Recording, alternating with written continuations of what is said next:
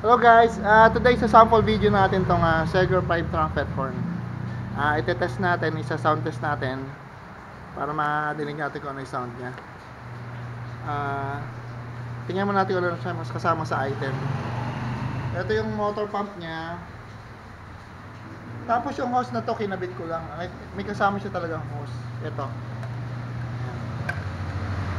Ah, bumili mo lang ibang hose para hindi ko siya putulin. Tapos yung trumpet niya, lima. Seger po yan, Germany.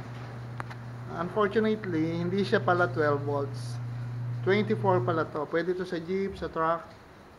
Yan. At inquire ko next time kung meron siyang 12 volts. Test natin ha. Kaya ito po yung battery niya, 12 volts na dalawa, naka-series. Series connection.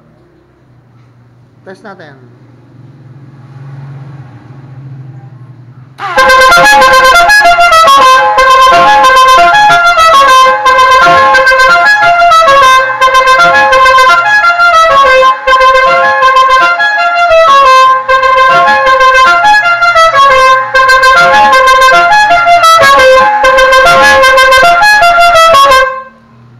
Lobat yata yung battery ko.